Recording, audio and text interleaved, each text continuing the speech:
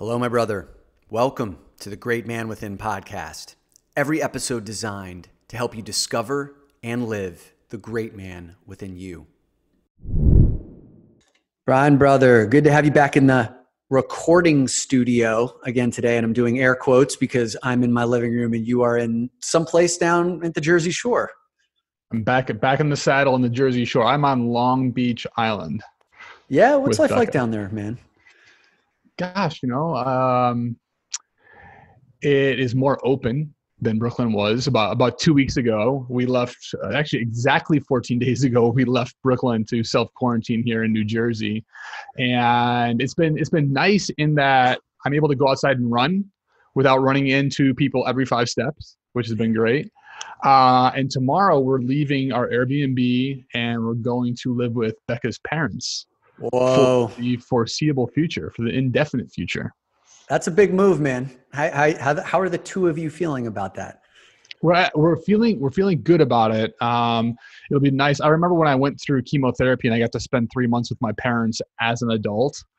It was a, a great time to connect with them and let them take care of me. Now this is a little bit different, so we're we're excited that we do get to spend more time with them and we're talking about how do we establish the the ground rules that are needed for us to operate and for them to operate. For example, when we come down here for a weekend, her mom and dad they cook all the food, all the meals. They're like super hosts like we can't do that indefinitely. Right. That's great for a weekend, but we can't do that indefinitely. So what does eating look like? Do we all four of us always eat together or can we eat separately if we want to? So right. w- when we go to the grocery store, is it just one of us going to go and we get everything for everybody? So I, I think that those are the sort of ground rules that we're going to be talking about as we move over there tomorrow.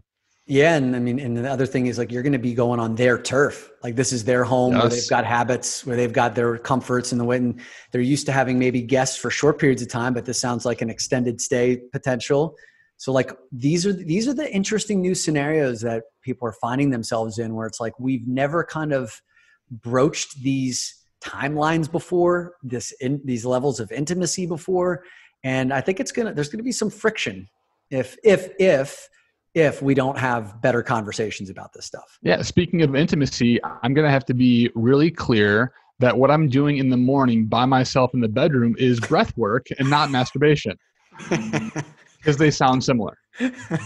That's well, you, you may want to do your Mukha Bhastrika with some clothes on because if someone walks in and you're naked, doing that breath work, it may raise some questions. Boundaries. Yes. Yeah, man. So like I think that's a great lead into the conversation that we are that we're having today about how people who are doing inner work are adjusting to this environment versus people who haven't done inner work.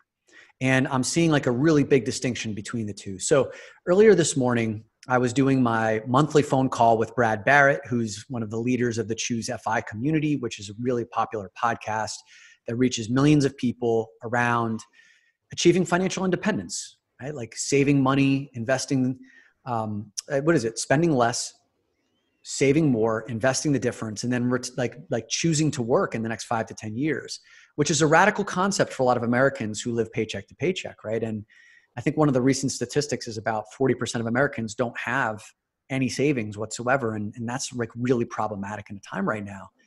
And so when Brad and I were talking this morning, he said, Dom, you know, we're about a, a month into this quarantine. What are you seeing from your audience, from the people that you're working with about how people are adjusting? And I thought it was a great question. And I remember like just kind of closing my eyes. I was standing right near Gramercy Park when he asked that question. And I just saw this like one line go right down the center of my vision. It was like creating two columns. And on the left hand column were people who were doing inner work or who had done inner work. And I was like, the people who have done inner work, Brad, are feeling the pain of this moment. They're feeling the fear, they're feeling the emotions. They have an expanded consciousness around how people are suffering right now. But they also recognize the significance of this moment. And they have tools and skills that they can leverage to navigate and adapt quickly and then in the column B on the right hand side are people who have not had access or who have not done the inner work and they're struggling. right? Like the, we're a month in and there's still a resistance to the fact that we are here in a new environment. There's still a, a clinging to, a gripping to, when is this going to be over? Like a craving for it. Like, please tell me when it's going to be over. They want it done and they're missing a big part of the significance of what's happening right now. And they're, and they're suffering in many cases, like I see needlessly. So like that has just what I, I mean, the headline to that is emphasizing the importance of doing inner work. And the conversation you and I wanted to have today is the three benefits that we are seeing that people who have done inner work are experiencing right now in this new normal.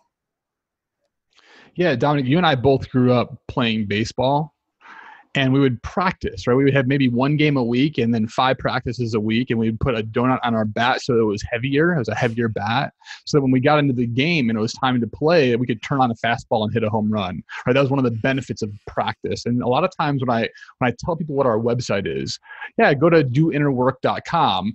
They look at me and say, well, what is inner work? Like, what exactly is that? And I look at this inner work as the same thing as when we played baseball, only this is for life Right. This is for moments like this, like coronavirus, like a huge interruption in our life, that we can, instead of getting smaller and, and freezing, we can actually stand in it, feel it all, and move. And so we're ready for, for moments like this. That's right. I think you're, you're, you're spot on. We are ready for this because we have been practicing. We have been training for situations where the external factors just get completely scrambled. And then the only thing that stabilized the only thing that you can cling to in that period of time is your inner state of being to stay grounded. So we're seeing that with the people that have done inner work. And you know i think i've mentioned to you before like i've now asked over a thousand people through various webinars and through coaching programs the same question which is what's one word that describes how you're feeling right now? And still eight or nine out of those 10 responses are some negative sentiment, some negative emotion like anxious, frustrated, overwhelmed, tired, angry. And there's no judgment whatsoever about those feelings because, like, these are difficult times. The one group that was an anomaly when I asked that question was our mastermind group. The, men, the group of 20 men when i asked them that same question there were some there were some of those feelings as well but there was a lot of blessed in control, uh, innovative, curious. There were some men who were talking about thinking about others, right? They weren't even thinking about themselves. It's like, how can I help others? And so those are the guys who have been training, and that's why I see these two camps. So let's just talk about three of the benefits that we are seeing right now of people who are doing inner work. And I think we're, I think our intention in sharing this is for you, our listener, to reinforce why you're listening to this and also to provide this as potential you know a potential magnet for others to get on this path because i think more and more people are waking up to the need for this. Um, so the first reason about why inner work is really helping an environment like this is because inner work leads to faster adaptation to unfamiliar circumstances. And i think you had a you had a phrase that like i was like oh that's a good one that I want to make sure we share with our audience? Yeah, yeah. The, the so I've, I've talked to uh, many people that haven't done a lot of inner work, and I get this feeling of slow shock. So it's not a shock like I got in, in, a car accident and boom, something shocked me. This is like something that we're a month into this thing now, and people are starting to recognize or going from amorphous feeling to oh. One example, I was talking to a guy yesterday, and he said, "I just realized that my commute." From home to work was a time for me to process whatever I was feeling, to think through things. And that was a really important thing for me. And I just realized I wasn't doing that anymore because my commute is now from my bed to my desk. And so now he wakes up in the morning and he goes for a walk outside to simulate that commute. That's right. And it's like, oh, interesting. But it took a month, right? And that's a very, very small thing. Um, so, so the adaptation that we can feel when we do the inner work is this is this quicker awareness to how we're feeling and the fact that we can change it.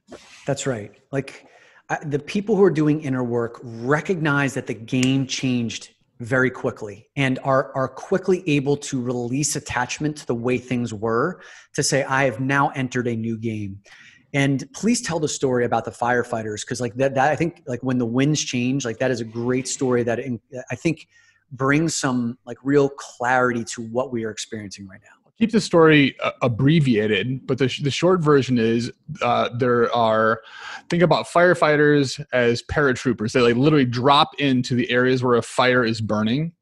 And so this group of firefighters dropped in. They were fighting the fire. The winds changed to come back towards them. And at their back was a giant wall, was a cliff. And so the only way to get out of there alive was to climb that wall half the firefighters died. They didn't make it up the wall. The other half did. They survived. And when they looked at like, well, what was the difference? Like, why did half survive and half die? It was the people that dropped their backpacks with all their tools in it to climb the wall and get the hell out of there because they recognized the winds changed, the game had changed. It was about survival. The other ones, they had been trained to never, as a firefighter, you never leave your your tools behind because your identity of a firefighter, like you can't fight fires without the tools. Right. And so they were still playing by the same rules, the old rules, and they, you know, quite physically kept it on their back and died doing it. That's right. And that's a sad story. It's also a powerful one to recognize okay, like we're in a game that we've never played before. So we almost have to question everything that we've ever been taught up until this point and and when you've done the inner work or are doing the inner work there's a greater sense of awareness around that much more quickly so that's number one inner work is leading to faster adaptation to unfamiliar circumstances the second one it's kind of building off of the first one is that inner work leads to the development of empowering new protocols for this new environment and uh, one of the men in our mastermind, Ryan Eller, I know you're listening right now, brother. He introduced this concept above. It's not his concept, but he he talked about social constructs to our mastermind uh, about a week ago, and he gave this example of how you know there, there's two types of social constructs, right? The written rules and the unwritten rules. Think of written rules as like laws that govern our you know operating society. Like those are pretty clear, but it's the unwritten rules that are the glue that keeps our humanity together right? Like how we treat each other. He gave this example of for a guy, if you walk into a men's room and it's empty and there's 10 urinals and you go all the way to the one on the right, if the next guy walks in and he goes right to the urinal next to you, that that violates an unwritten rule. Like yeah, give me some space. Right, get out of here. some space, right? There are a million of those little unwritten rules that kind of keep things keep the, the, the wheels turning. Well, when the everything changes, when the entire society changes then new social constructs unwritten rules need to come up and need to be discussed otherwise there's going to be a lot of friction and i know brian with you very early on you and becca i think we used this example before but when the both of you ended up moving all of your work to home there was some early friction that you guys were able to clean up in a matter of days. But tell that story yeah, she was annoyed because we were in two separate physical locations, and she was in the kitchen. Every time I would come in there to get a drink or do something, I'd say, "Hey, how you doing?" I'd like rub her back, and eventually she said, "Hey, this is annoying because you're getting me out of my flow. Like, I'm I'm working, I'm trying to get things done," hmm. and so we had to come up with a new tool for communication, which ended up being post-it notes of like, "Yes, I can talk," or "No, I can't talk." Right, right, and we got that idea. I think it was from Nir Eyal's, who we interviewed yeah. about his book Indistractable. It's like I'm doing work right now. And I think the, the, the notes that you put were, I thought these were her notes that she had written and put on her laptop that said, I love you on the left hand side and shut up on the right hand side, but you had written those notes to yourself. Yeah, sometimes I need better systems just to operate, right? Yeah. So and, and another Dom, we already mentioned this one, but another a tool, another system is when I when we go to live with her parents now, typically we just walk in the door hey how you doing? That's great. Can i get you something to eat? But no like now because we're in this and we know that we're anticipating right? We're anticipating that this is going to be different let's set the ground rules. Where is everybody at? What are they thinking? And ground rules aren't a uh, a negative tool. It's like how do we collaborate? How do we create these unwritten rules? Because we don't know what they are. Exactly right, man. I mean, and you you figured that out with Becca, the, that part of the story with Becca in, in a matter of days. There are other people who are just at each other's throats for the past month because they haven't like recognized that like new social constructs need to be discussed. As you are moving into her parents' home, now you can actually set the foundation from the very beginning, which creates cohesion, communication. It, it eliminates potential for, for frustration and conflict later on. So, yes, doing inner work leads to the development of empowering new protocols much more quickly And the last part of this, this, this came up from part of the conversation we had with uh, I had with Brad this morning. The third reason why inner work is working for people is that we're feeling the significance of this moment, right? The, the significance of the period of time that we are in, which may be a once in a lifetime experience, hopefully. Like, hopefully, we don't have global pandemics that debilitate us like this before, uh, like this ever again. Maybe we will, who knows? But you and I were talking before we hit the record button. It's like, you know, over the course of our lives, there are only a few of these standout moments that like that like really bring us all together that really wake us up and call into question everything about how we've been living and in, in my lifetime it was i remember like the first one was the challenger explosion i think it was like in 1984 85 like the, the you know the space shuttle explosion like the whole world kind of stopped when that happened 9-11 was a big one. Uh, it was was like the biggest one of my life. And then you know princess diana dying like it was probably the most famous person that just like everyone in the world loved at that point in time. There are there, there are parts of what's happening right now that is quite significant because we are fundamentally changing how we operate as humans if uh, fundamentally changing how we structure ourselves from a government perspective how we're going to be saving money. It's going to change how we work it's going to change how we spend time with our families and loved ones. Like everything is changing. And i think that people who have done the inner work can feel the significance of this moment. And those who haven't are just kind of like can this be like i want this to be over as fast as possible? I was talking i had a conversation yesterday and somebody said every day feels like a tuesday. It's not a monday like the beginning of the week and it's not like a friday you're towards the end of the week. It's not halfway like you're over hump day it's a tuesday every single day. Like that it could be very easy like we're all at our homes. It could be very easy to fall into that trap of every day being a tuesday. And so the question that i ask myself when i think about the significance of this moment there's a guy named Cesare Pavese and his quote is we don't remember the days we remember the moments. And so the question i ask myself is how do i how do i want to remember this moment of coronavirus of being of being at home. And i want i don't want it to be a bunch of tuesdays that blur together. I want it to be a time of creation. I want to be a time of outreach. I want to be a time of like I'm, I, I have different types of relationships with different people. And so i want the significance of this to be something more than just tuesdays. I love that man. Yeah because it could easily become just tuesdays. And again going back to the conversation with brad you know he told me this morning that he and his daughters and his wife have been doing uh, CrossFit exercises, like workouts, five days a week together, these like online 15 to 20 minute workouts. And he sent a picture to our mastermind chat of like a post workout from this morning. And he was like, I've never, like, we've never done these workouts together. And, and like, and now they get a chance to see like the part of my life that is so important to me and be a part of it. And Anna, his, his uh, older daughter, um, was so enthusiastic about doing that workout that it cut our conversation short this morning because she was like, "Let's do it now," and Brad's like, "I gotta go," and I'm like, "Do it, dude." And he was like, "I'm I'm actually basking in the glory of this because I may never have this with her again when when life goes back to quote normal." So there are these beautiful, like you said, moments that we're going to be able to remember. All right, so let's do a recap here the reason why inner work there's three reasons why i'm seeing inner work and those who are doing inner work adapting to this environment uh, much more quickly is because number one inner work leads to faster adaptation to unfamiliar circumstances. Number two inner work allows you to develop empowering new protocols quickly to adjust to the new environment. And number three inner work allows you to feel the significance of a moment without hoping it'll rush by or be over because of the discomfort that it brings you.